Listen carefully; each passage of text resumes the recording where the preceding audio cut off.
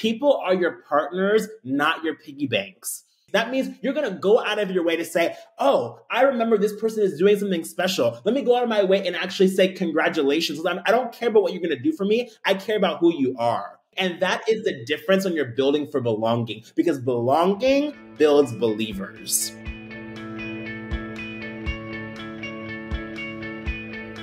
Welcome, everybody. I could literally not be more excited to be here today with my good friend Floyd Jones. Floyd, welcome to What the Fundraising. I cannot believe it. I'm so excited to be here. This is so long overdue, and I'm really excited that we get to talk about a topic that I feel like has kind of evolved for both of us over the last few years, like both in terms of conversations we've had in our friendship and things we've been doing in our work for the nonprofit sector around belonging and like what creates feelings of belonging, what creates community rooted in belonging, what makes us like in our brains and in our bodies and our soul just like know that we do belong and how do we create moments and experiences and organizations that do that. So there's nobody else I would rather be having this conversation with today. And I'm just so thrilled you're here.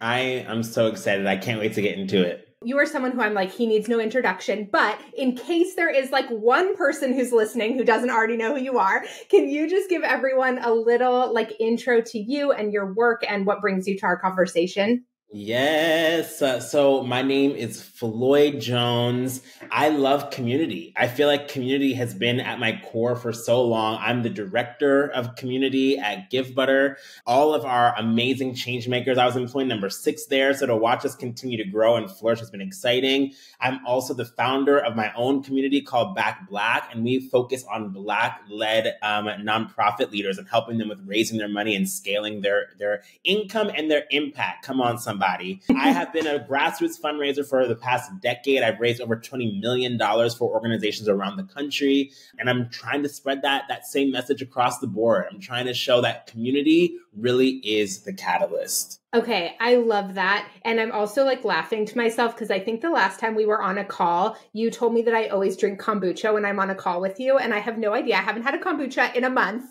But today I accidentally grabbed one. so we know each other very well. Um, and I think it's part of what creates like our sense of belonging with one another. Mm. So talk to me, talk to me about like the connection between community and belonging. Like, mm, what mm. does, when community is built right, how does it make people feel and know that they belong? I'm so happy that you shared this story because I will share a personal story between us and our friendship. So, this was the moment that in my head and in my heart, transform from community to belonging, right? I was giving a speaking engagement right near San Francisco. I was just excited. We were doing something brand new and it was like a brand new thing. I was with John and Becky. I'm sure y'all know John and Becky in this community. And we decided to go and visit Mallory. We had dinner with Mallory and her beautiful family. And as soon as we got there, Mallory was like, Oh, I have a whole bottle of champagne to celebrate your speaking engagement. And in my head, I was just like, this is what belonging looks like, right?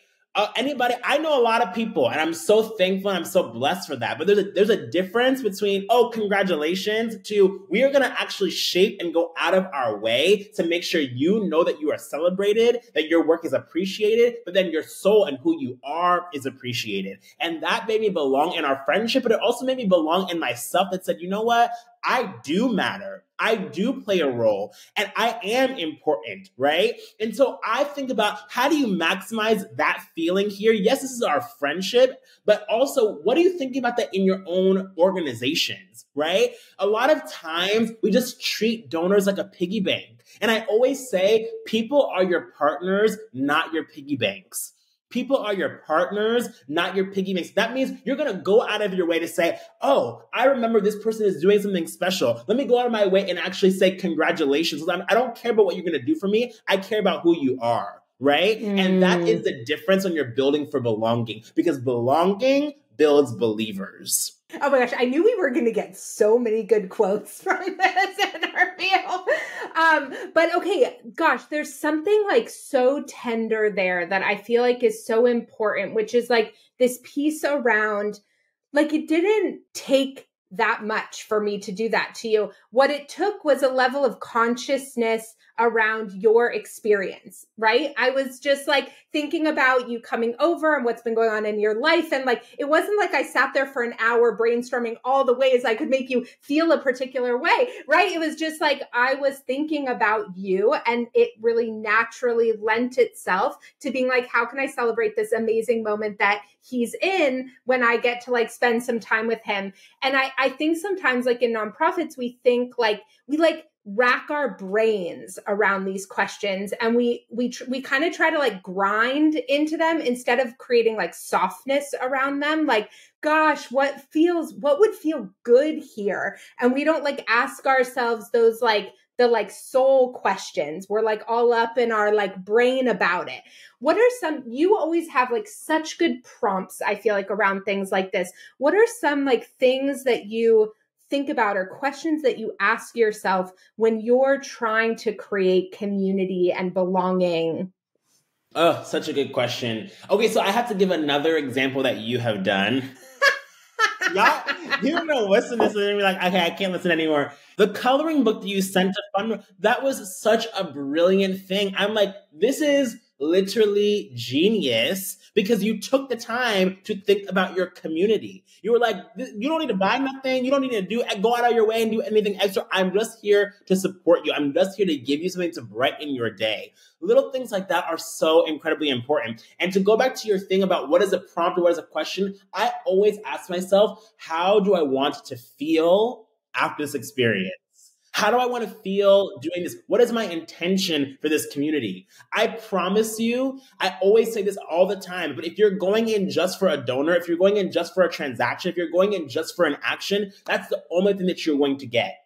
That is the only thing that you're going to get. But remember, community, as I said at the beginning, community is a catalyst. People will come for your event, they will come for your campaign, but they will stay because they feel they're a part of something bigger than themselves. And that is what we need to start transforming our thinking around. That's what we need to start thinking about for the longevity of our organization, right? Okay, there's something you said there that I think is so important. I mean, everything that you said, but this piece around like, what is the whole experience that you're looking for people to have as opposed to kind of like checking a box around i have shown gratitude and you asked yourself how do i want to feel? And i actually think that's like a really important and overlooked thing. Like when we're doing gratitude and community building and we're just doing it as like an operation it doesn't feel great to us either. We're like i'm like operationalizing this like superhuman super connected experience.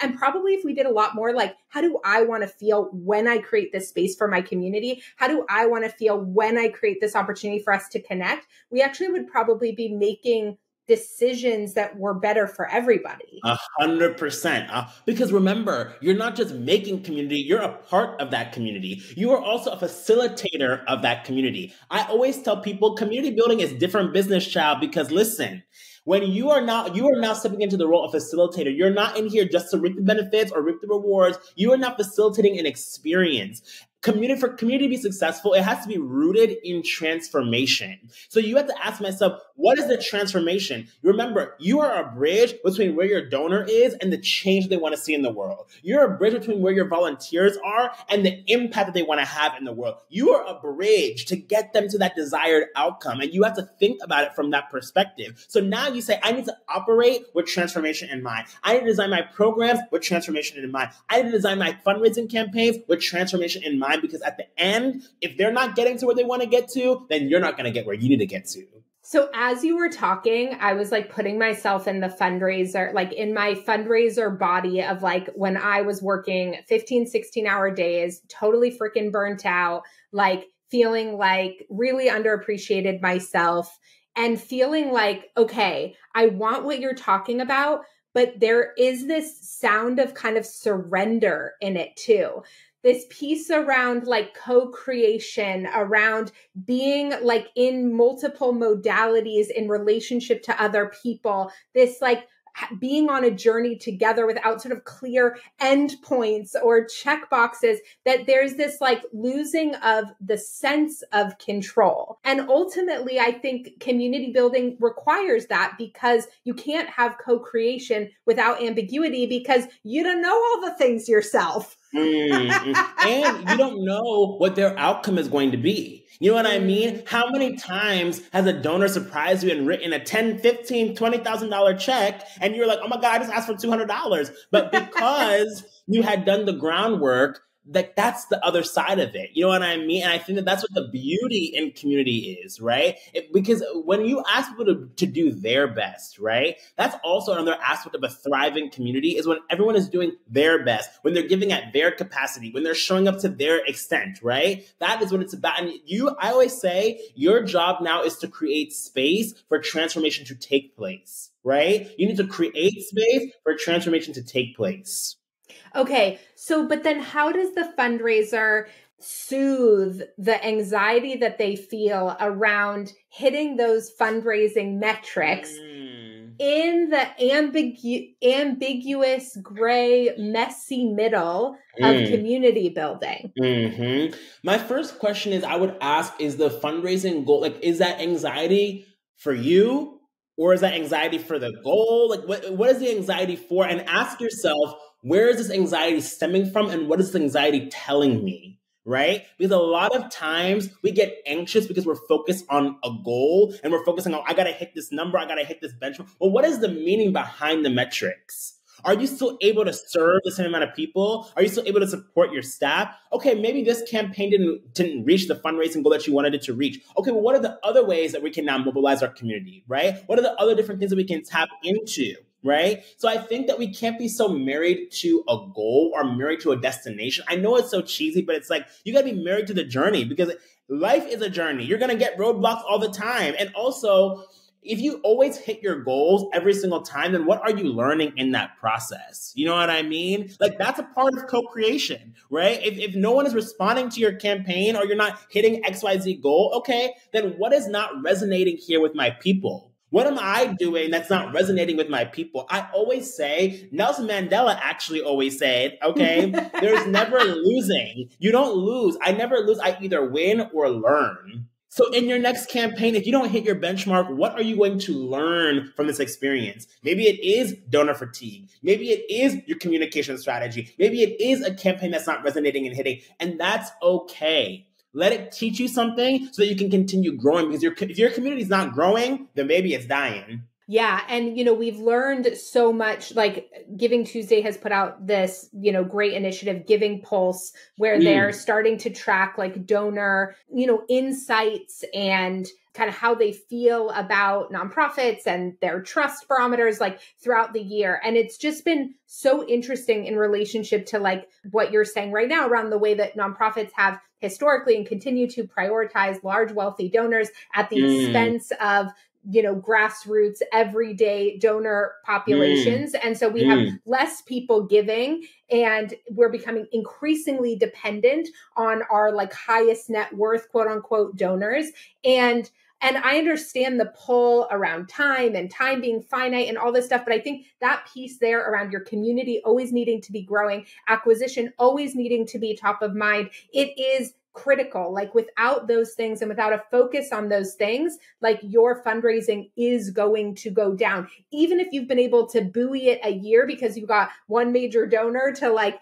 up level in a big way that year over time, like being distracted away from community building, from engagement, yes. from all that stuff is so detrimental to your fundraising.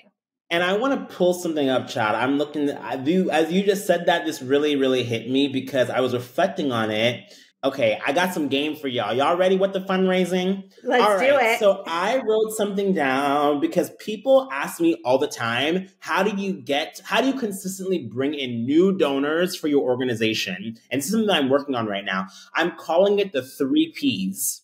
Okay. Part- partnership, promotion, and people. Okay. So first is partnership. Who in your community are you going with so many times? And let me tell you, I have worked with Nike. I have worked with NBA 2K. I have worked with Whole Foods. I have worked with Visa. I have worked with so many different corporate brands. Why? Because I understood that there was value in what I had to bring, what I have, what my organization has to offer. And there's alignment there. So many nonprofits, so many grassroots organizations are like, worried and focusing on this like the five people they have in their donor database. And i'm like there are so many people out there. And if you, have to understand that the world is big the world is big. And if you're only looking at it through small lenses that is all you're going to get. Abundance is real. We talk about abundance mindset all the time but baby abundance mindset starts with asking. Just open up your mouth and ask the company down the street that aligns with your company. Don't just ask random i'm not going to say a name because shot, i don't want to get sued. Don't ask a random company. But if you are operating in youth sports like we were,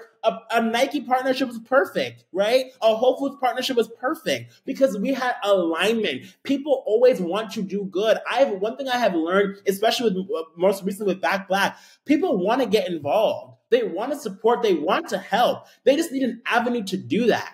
So I always say, if you want a place to put your money, child, pick me. I'll, I'll let you know. Okay, I'll let you know.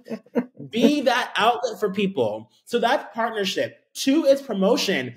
Don't be afraid to actually say we need donations, but don't be afraid to build your personal brand also. If you're a leader, if you're a fundraiser, talk about what you care about. Don't just put it underneath a mat and expect people to understand what you what you're doing. The reason why I go so hard on LinkedIn and all that different is because I believe in what I'm talking about. And if you believe in something, if you actually believe that your organization has the solution to fighting that disease or solving hunger or, or, or helping with education, wouldn't you talk about it? Wouldn't you talk about it? You have to be that passionate about what you're doing. That's why I say alignment determines your assignment. Don't just sign up for a job. Don't just sign up to run a campaign. Don't just sign up to do something. Do something that tugs at your heartstrings. Do something that brings you to life because that's the thing that's going to help you keep going and spreading the word about your mission.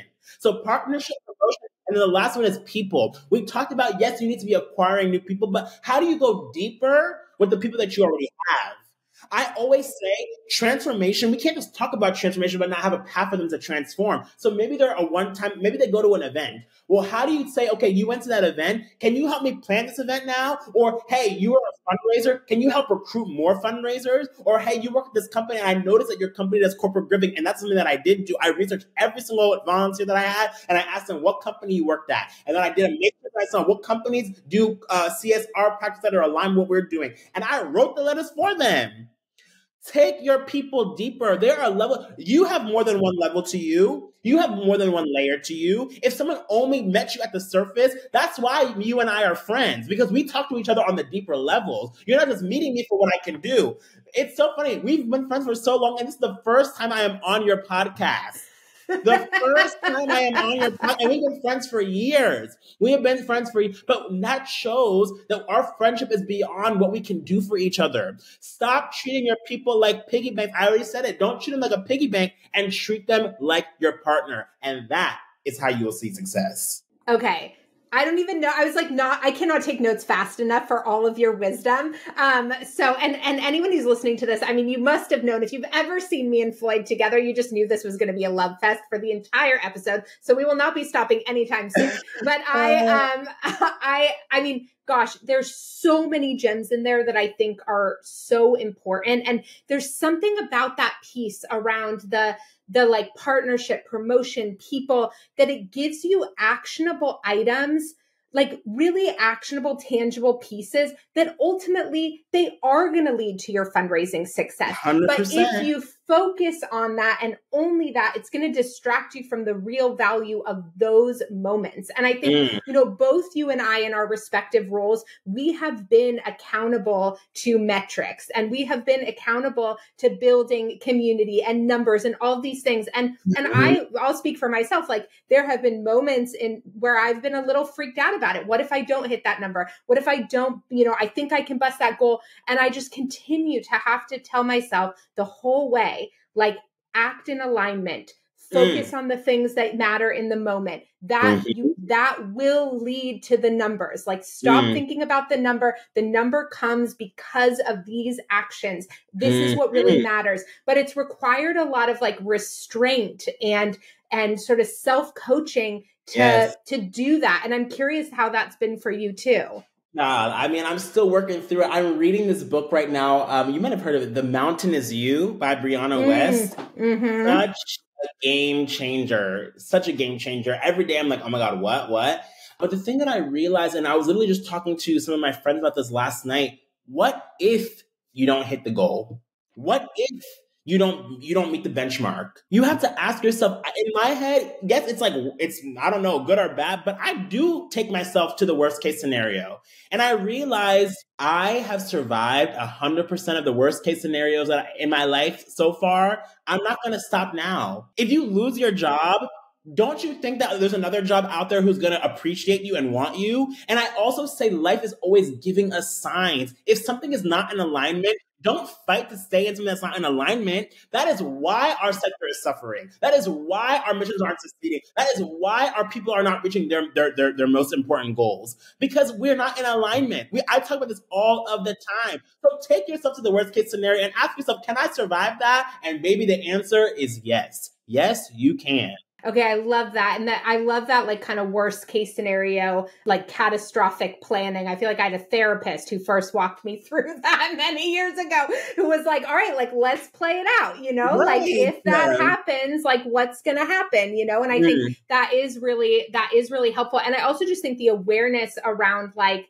okay, this is happening right now. My brain mm. is like mm. playing this trick on me. It's trying to distract mm. me. You know, there's this quote, I'm not sure who said it, but I've like reposted it on Instagram or something around, you know, the world is constantly going to be pulling us in a million directions saying, this is important, this is important, this is important. Yes. And it's our job to like pull our hands back and say, no, this is important. And yes. I think when it comes to community building, that tight and that and building belonging it requires that level of restraint Everyone will be out there telling you what is important for your donors, how to do this. And I can't even believe I used the word acquire. I don't think I've ever used the word like acquiring donors. But what I meant by that was like if your community isn't growing, yes. it might mean that your community isn't a place people want to be.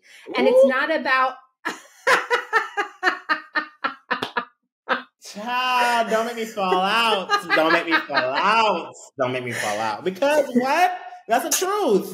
Yeah. So if it's it's not about like you acquiring them and getting them, but if you're not seeing, you know, what we call that acquisition number, that growth number at sort of the top of your community, it is mm. a signal that that mm. community mu- is likely not building belonging, that it's likely not a place people want to be, and it's likely not even a community, mm. right? Then it, Child, yeah. Thank you say that because we keep throwing the word community around. I'm like, this isn't a community. You just email me. Like what?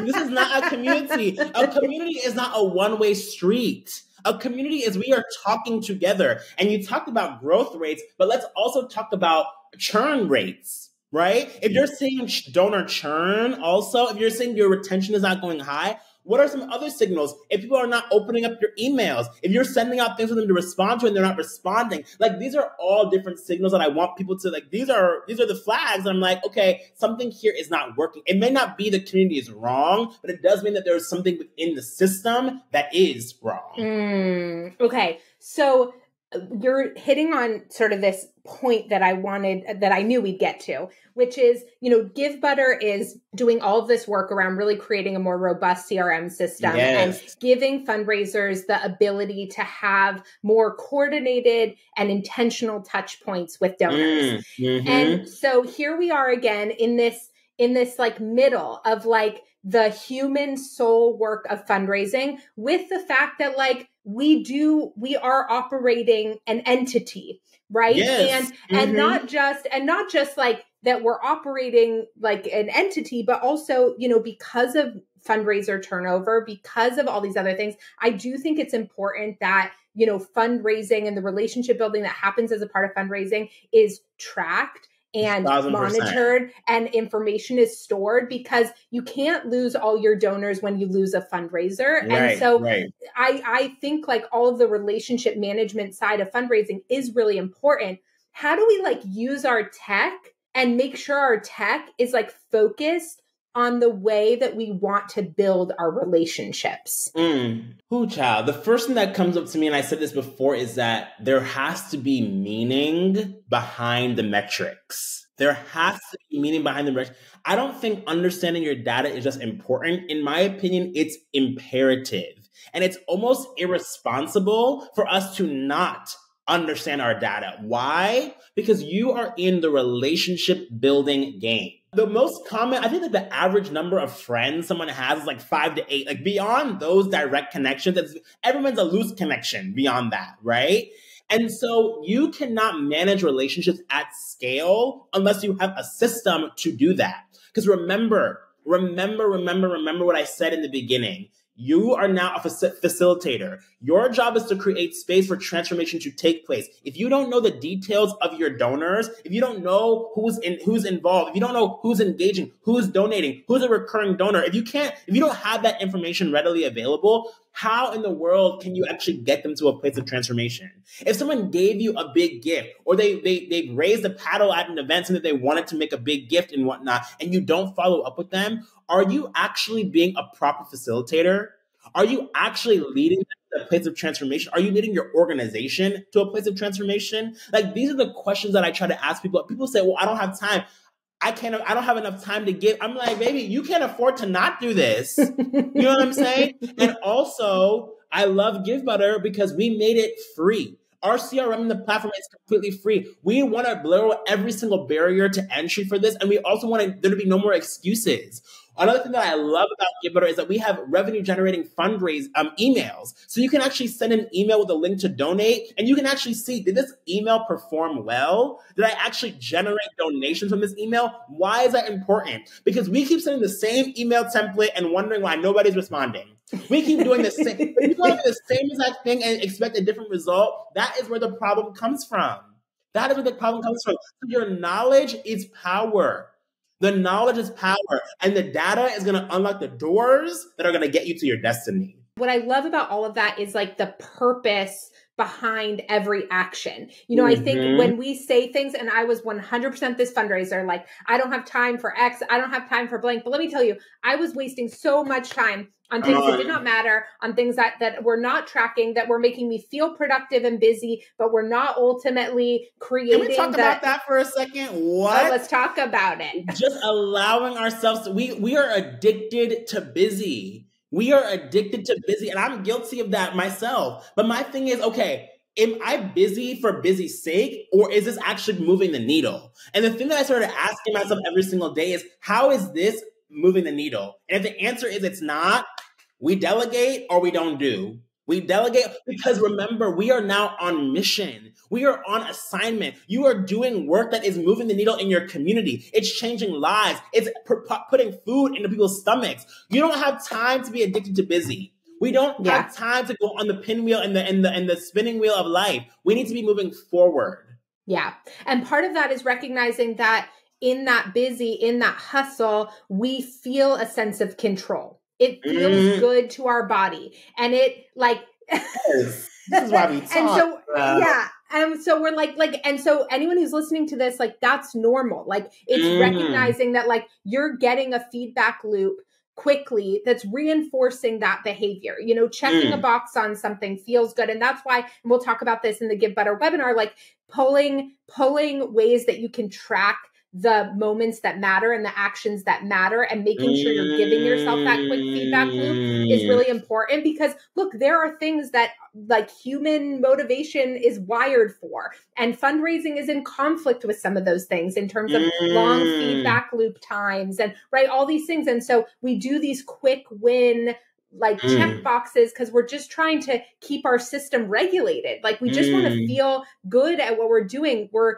we're not doing that because we're bad people mm. or fundraisers we're just we so badly want to feel like we're making progress and that's yes. what that's what's happening in those moments and so i think it's like having compassion for the fact that like that's a really natural cycle to fall into having awareness of the fact that that isn't leading you to fundraising success mm. and then mm. designing habits and strategies and actions and behaviors that you can give that positive reinforcement to and will actually drive you to success is like where the magic happens. Love it. So good. So good. And just acknowledging that, you know, I, I feel like if someone's listening to this episode, I want you to like acknowledge the fact that you are starting to do the work. Like this is doing the work because you're showing up, you're listening to the resources. And now my question is, this is another, I always say your life is always speaking to you. So this, let this be a lesson that's speaking to you. But my question is, are you going to listen? And if you listen, are you going to respond? And so that's what Power Partners is about. That's what we're doing at Givebutter. We want you to respond in community, right? We know what our transformation is. We want to help see you get to the other side. And that's why we ask you to get involved. That's why we ask you to do these things. That's why we say go to the webinars, right? Because we want you, we don't want you to do it by yourself because it's hard to do it by yourself. That's why I have Mallory. That's why I have coaches. That's why I have mentors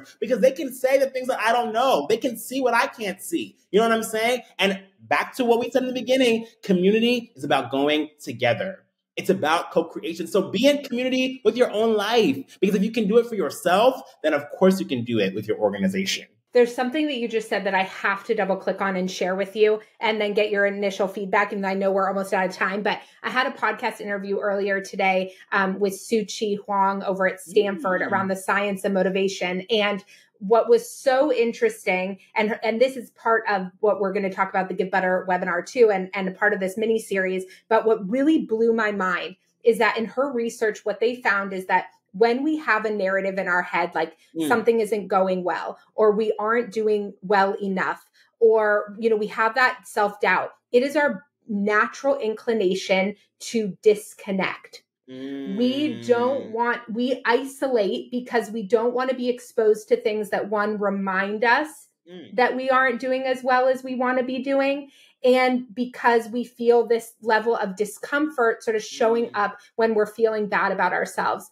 Mm. And when she said this, I've never heard this research before. And, and she was basically saying, she's like, and yet the moment that we have that natural tendency to disconnect is the most important moment to be connected in order to have motivation and in order to continue forward and to achieve our goals. And so I, when she said that, I was just like kind of floored because I was like, okay, like we when a campaign isn't going the way we want to or when mm. we when our fundraising for the year isn't going the way we want to we have this natural inclination to disconnect and do the exact thing that is going to hurt that campaign and hurt that fundraising moving forward and i think what's really amazing about what you've built over at Givebutter on the community side you know aside from just the platform piece is like getting people to continue to show up in community is helping them mm-hmm. overcome that hurdle that they're showing up to those webinars with you guys likely oftentimes not feeling great about certain things but they're showing up anyways mm-hmm.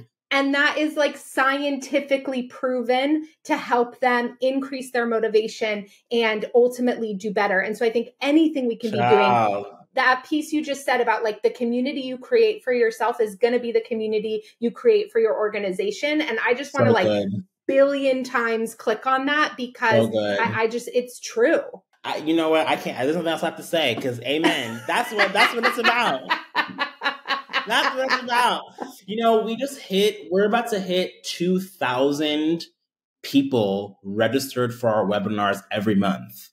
Two, when I took over, it was 60 we had 60 people register for it. and i was just like this is amazing. Like this is unheard i've never seen that before right? And exactly what you just said it's like i am taken aback and i feel honored but i also realize that it's not about me. It's about the magic that we're creating in this space and understanding. I always say if you want to go fast go by yourself but if you want to go far go together. And that's when we get the success stories. That's when we get the wins. That's when we get people coming back talking about, oh, I did this and oh, we're doing, we reached our fundraising goal. Like that is what it's about. Those stories is what it's about. And I want anybody listening to this, your success story is on his way. Whether you're in Give, whether you're in Power, whatever, your success story is on its way. Just say yes. Start by saying yes. I'm so glad you shared those metrics about the webinar because I think what it is is a testament to exactly how you started this whole conversation, which is creating the space for and the conditions for community and belonging. So you're Come right. On. It's not it's not about you, quote unquote, but you have created those conditions. You have created that sense of belonging for other people mm. to be mm. able to show up in their fullness, to to mm. like see each other, to care about each other, to create belonging for everyone. And that is that's ultimately what it's all about. So mm. man, we brought that full circle. Come on now. We brought that full circle. Uh, I am so, so grateful for you. I'm so grateful for you. Tell folks where they can go to follow you, connect with you, learn more yes. about Givebutter, all the things. All the things. Just find me online at The Floyd Jones, at The Floyd Jones on all platforms. You can see all the things that I'm up to, floydjones.co. You can see all the things. And then in the show notes, you'll learn all about Givebutter and what we have to offer. Mm, amazing. Floyd, thank you, thank you, thank you for being you. Thank you for all the wisdom and and space you create for mm. the nonprofit sector. Um, I'm so grateful to be your friend and to be a collaborator and just everything. So, and I have to tell for anyone's listening to this, Emmy, my four year old, is Floyd's biggest fan, biggest fan in literally the whole world. And she uh-huh. asks regularly to go on Instagram and listen to Floyd sing. So, Floyd, I don't know if you want to send us off with a tiny little serenade, but that is most loved in our home. you know what? It's so funny because I sing this song at the, my most recent talk that I do called The Significance of Your Story. We talk about breaking up with limiting beliefs that hold you back because that one of the biggest inhibitors to building community is you have to let yourself be seen. And so I will sing this little chorus and I'll let the people go. I spread my wings and I learn how to fly. I do what it takes till I touch the sky and I'll take a risk, take a chance, make a change and break away break away from the beliefs holding you back, build the community of your dreams, see your success. I believe in you.